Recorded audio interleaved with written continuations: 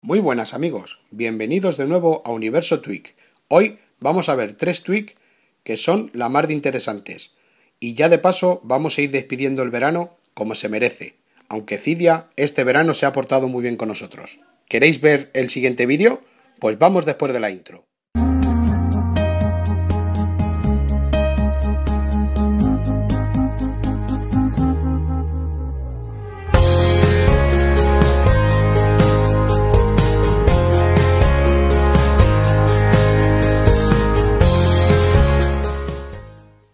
Bueno amigos, pues el primer tweet del que os vamos a hablar se llama Colorful KBD, eh, Keyboard.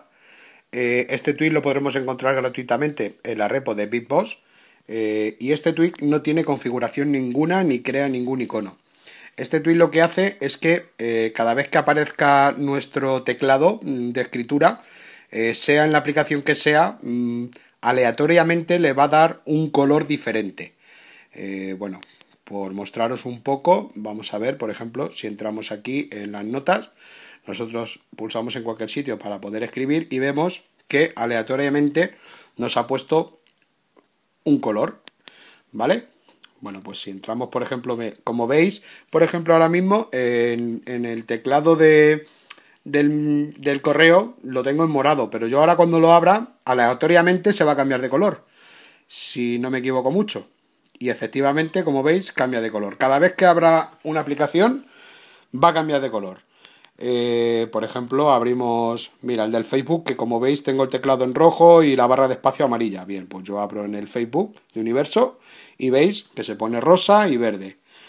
Eh, la verdad es que está muy bien, a mí me gusta mucho en el sentido de que de que como no te da siempre el mismo color de, de del teclado, pues no cansa y no tienes que estar tú cambiando el color, eh, el color que tú quieras. Y está muy chulo. Bueno amigos, el siguiente tweet del que os vamos a hablar eh, eh, se llama Musical. este tweet lo podremos encontrar en la repo de BigBoss, totalmente gratuito. nos crea un menú en ajustes en el cual podremos activar y desactivar el tweet. Y básicamente este tweet lo que hace es que nos crea dos botones, no sé si lo veis aquí a los lados, ¿vale? Vamos a ver. En el cual con este botón podremos, eh, podremos hacer eh, el aleatorio o en, modo normal y con este podremos darle para que nos repita eh, la canción, que nos repita todo el álbum o que repita todas las canciones que tenemos puestas. Eh, ahora vamos a ver este tweak aquí eh, para que veáis que está en la repo de BitBoss. Lo he tenido que hacer al revés porque no me dejaba accionar la música. Este tweak lo podremos encontrar, no lo, lo ponen eh, tanto en la, en la pantalla de centro de la pantalla del centro de control, perdón, tanto en la pantalla del centro de control como en la pantalla de bloqueo, ¿vale? Aquí tenemos el tweak eh, y ahora vamos a ver el menú que nos crea en ajustes para que lo veáis todo también, con el cual podremos habilitar y deshabilitar. Si yo ahora bloqueo el teléfono, ¿vale? Le doy al botón para desbloquearlo. Bueno, ahora no porque no, está la música puesta, pero bueno, vemos como el modo de repetición está aquí. Si la música estuviera sonando, eh, pues se pondría también en la pantalla de bloqueo. De hecho, lo voy a poner aunque se mute y termino ya con este tweak.